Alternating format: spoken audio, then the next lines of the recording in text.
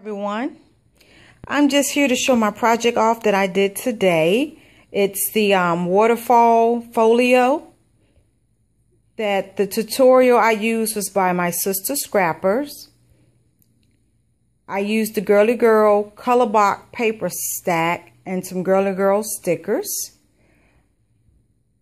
And I met with two other young ladies to do this project together so let's dive into it and see what happens. So it is held together by this belly band here. And this belly band just slides off. So we're going to just slide it off like this.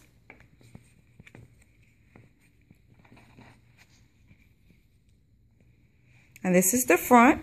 And it says girly girl. And then the bottom here said it's a girl thing. And then it has like sassy.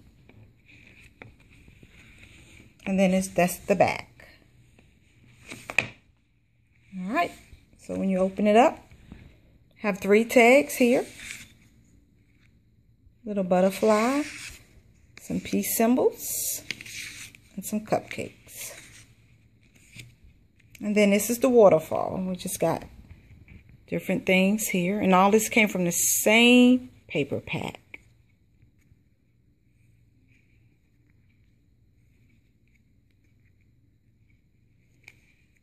And the paper was really pretty. I really enjoyed working with it.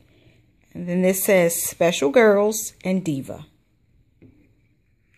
So that's all to the folio. If you have any questions, just leave me a comment. Thanks for watching.